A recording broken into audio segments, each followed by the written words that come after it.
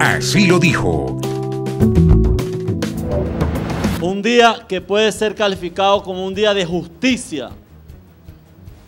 Porque hace un año logramos la detención y la puesta a la orden de la justicia venezolana al asesino de la derecha fascista, el monstruo de Ramo Verde.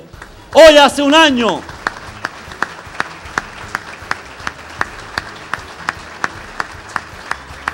fue detenido este asesino.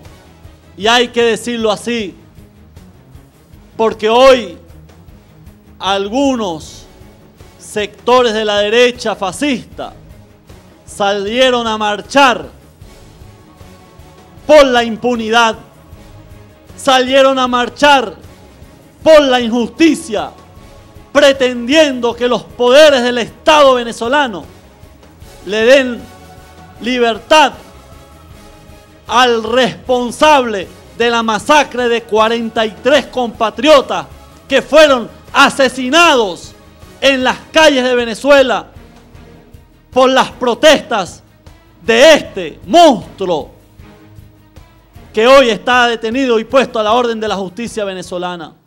Así lo dijo